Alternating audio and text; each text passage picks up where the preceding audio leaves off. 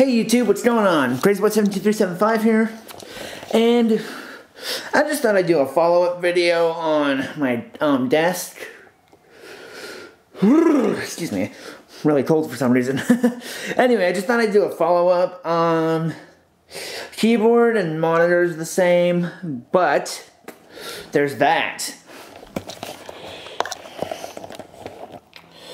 That's right, it's a Brother printer.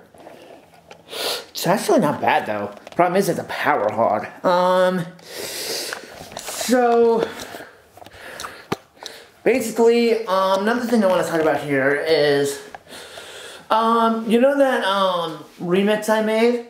Well, I got good news for you. There are more coming.